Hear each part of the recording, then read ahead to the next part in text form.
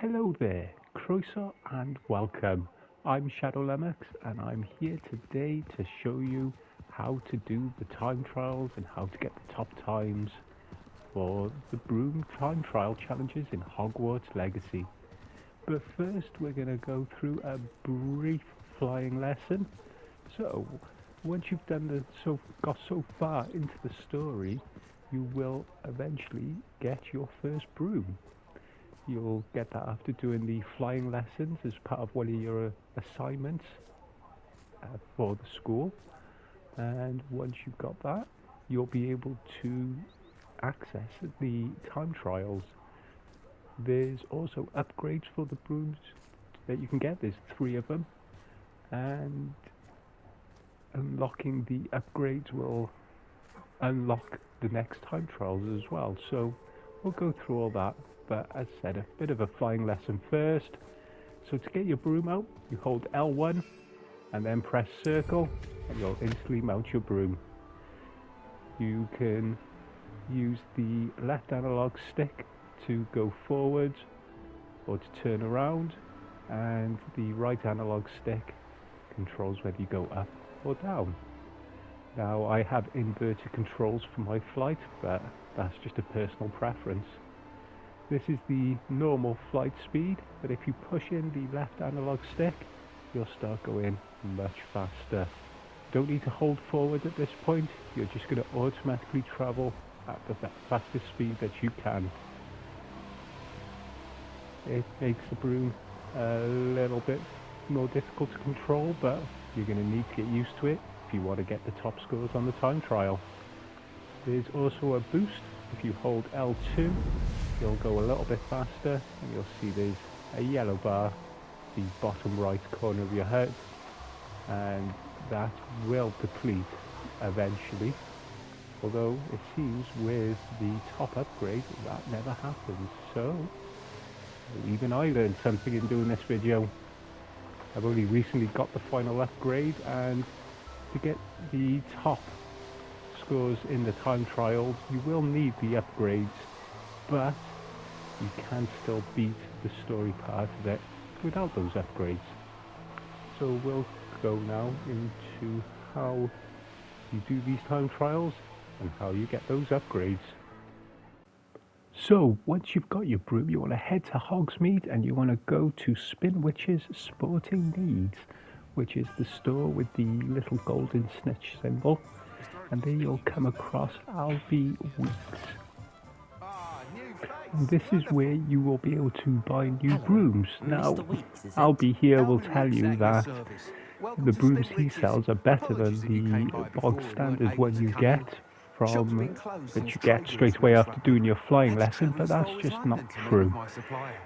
Apart from aesthetic differences, all the brooms handle the same. It's the broom upgrades that make the difference. Now he will give you a set of quests to get those broom upgrades. and part of that is to do the broom time trials. So once you've accepted this chain of quests, you'll start unlocking the time trials.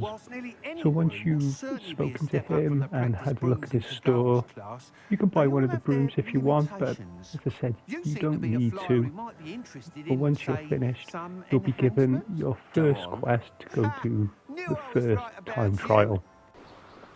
The first one is at the Quidditch pitch, and unfortunately there is no Quidditch in this, but these time trials are I found them a lot of fun. And you'll come across Imelda Reyes, uh, Slytherin with a bit of an attitude problem. to complete the quest line for these time trials and for the upgrades, she's the only one you really need to beat, but I like to go for the top times Why myself. The, I'm going to warn you though, the first time you do these, you can't get the top times at each of the time trials without the following upgrades. So you can get close and get really close. Tell that's the rest but of the skill. We'll now go into the very first of the time trials. So, on to the first time trial and the aim is to follow a course around and fly through these Quidditch hoops you'll see these little yellow balls dotted around between the hoops. These give you a boost of speed. You want to be holding L2 while you do this to get yourself a boost. As you can see, collecting these yellow balls refills your boost and gives you a good uh, acceleration boost. And the first time that you get to go up against is Melba's time. You would have noticed in the beginning that there was a ghost that is representative of that time, so you can see what you're racing against. And as long as you're smooth, it shouldn't be too hard to beat this ghost. The trick comes in trying to get the top time. I said, you can't really beat it until you get the, up, the next upgrade and as you'll see from this video right after I do this there'll be another clip and it'll be me trying to get that top time. I get ever so close. You want to be smooth as you're flying. It's very easy to for lack of a better word to get your wobble on as you take a tight turn, uh, you make a lot of quick adjustments. It's very easy to lose your sense of direction. But as you can see, we get to the end here and I've absolutely smashed the time that Imelda set. Uh, just want to show you here that if you ever miss one of the hoops, instead of completing the race, you just fly off. It'll tell you you've abandoned the track and it'll reset you back. Now, here we go. I'm going for the top time once you've beaten Imelda's time, the next ghost you'll get Success. is the time is the ghost for the number one time. And it is a 132.08 and I get ever so close. But it's just unfortunately not meant to be and I did try quite a few times get that, to beat that time without needing the upgrade but from what I can tell, you need to get that first upgrade before you can beat that number one time. And you won't get that upgrade until a bit further in the story. Once you've beaten Imelda for the first time, you'll return to Albie and he will tell you that he's going to develop this upgrade and you'll get it once you move on to the autumn part of the game. So I'll leave you now to watch me do this run as I get ever so close and then the next one you'll see will be me with that very first upgrade going for this challenge again.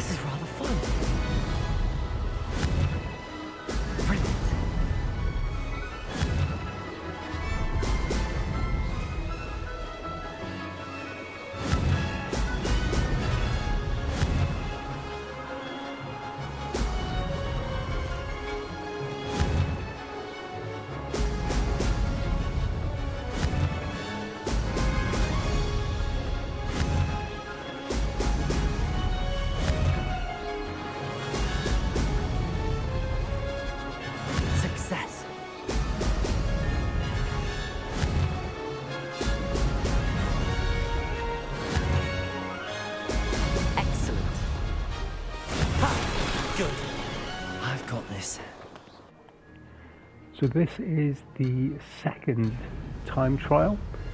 Once you've got your first upgrade, uh, you'll be given a quest to go do this the second time trial to feedback and report to Albie on its effectiveness.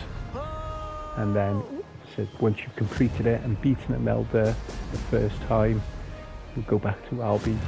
He will tell you he's going to develop another upgrade based on your feedback and you'll then have to progress the story a bit more until you get that further upgrade.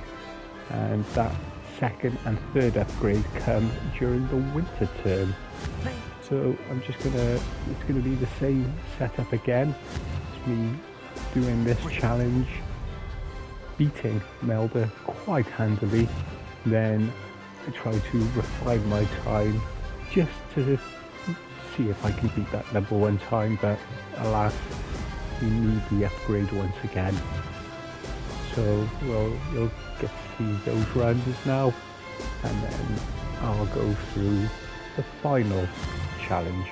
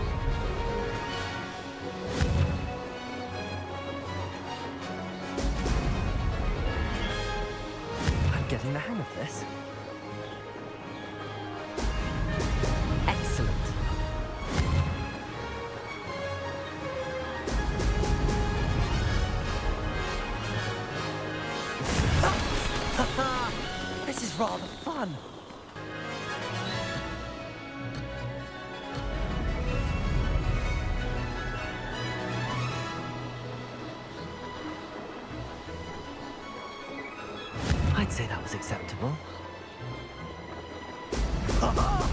now that's more like it! Mysterious and a bit unsettling. What to do?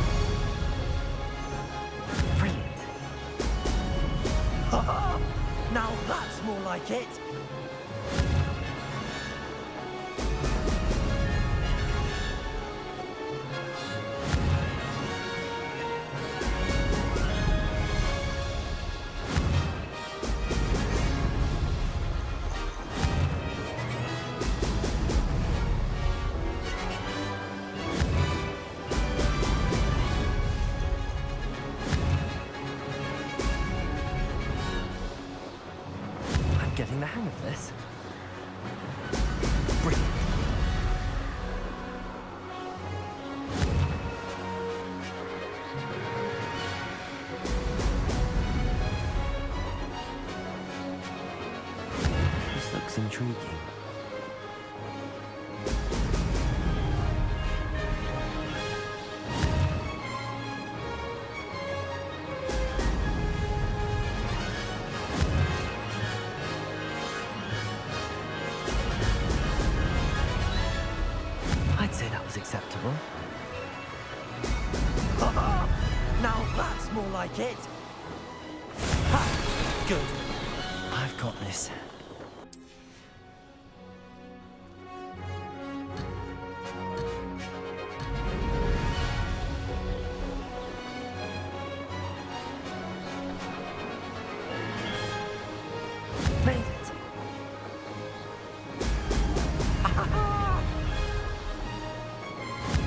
rather dark in there. Never stopped me before.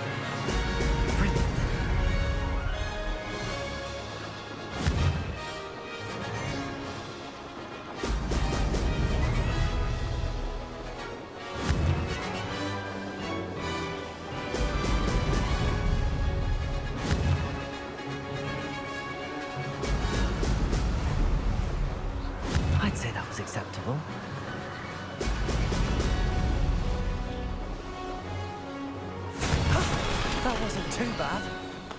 Hello again, Imelda. This course is a bit far from the castle, isn't it? Obviously. Evidently too far for most of our classmates. Pathetic. They should be begging me to keep these trials alive, not running scared. I'm surprised our new fifth year showed up. I suppose I appreciate the effort. That's actually thank you. I know I can be impatient, but I get frustrated by those who don't take things as seriously as I do. And in my experience, that's everyone. Anyway, don't let it go to your head. Right then, enough chatter.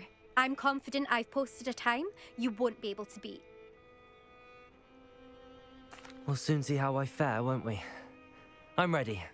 Get ready to lose, Ravenclaw. So here we are, right at the south end of the map. You only unlock this once you get to the winter period, and from there you'll be able to, you'll get the, once you've done the story a bit, you'll eventually get the quest to unlock this time trial challenge and to get the last two upgrades. This is now with the second upgrade and the time I set on the time trial before where I beat the number one time, that was with the second upgrade as well. But I haven't got the third upgrade yet. It isn't until the very last run of this video where I'm actually using that final upgrade.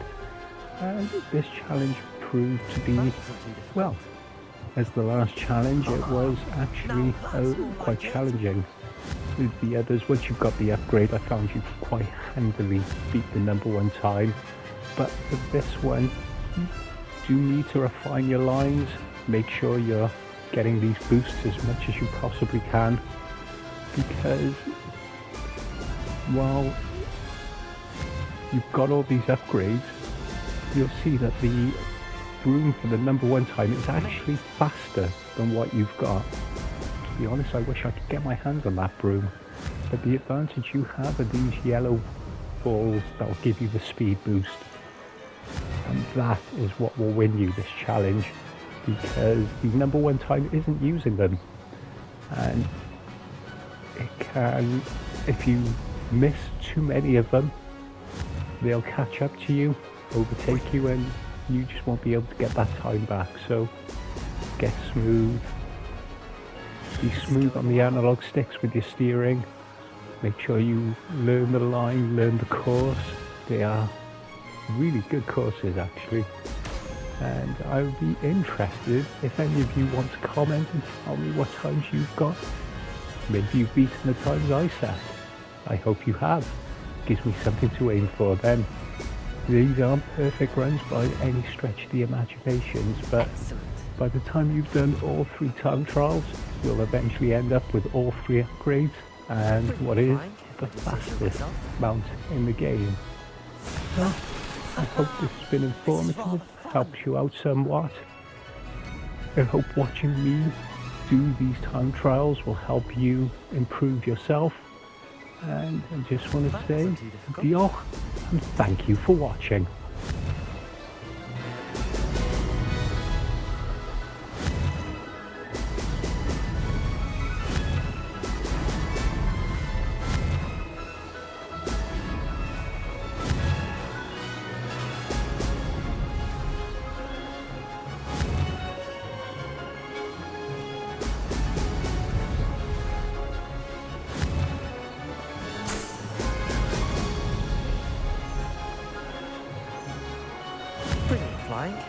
Say so myself.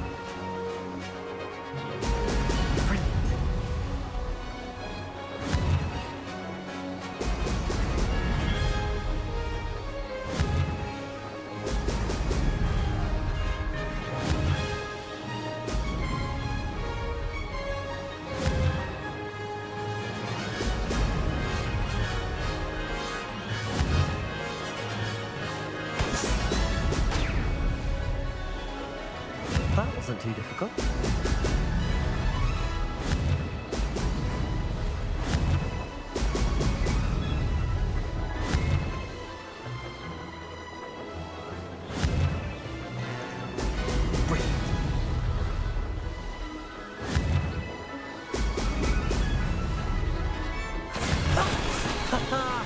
This is rather fun.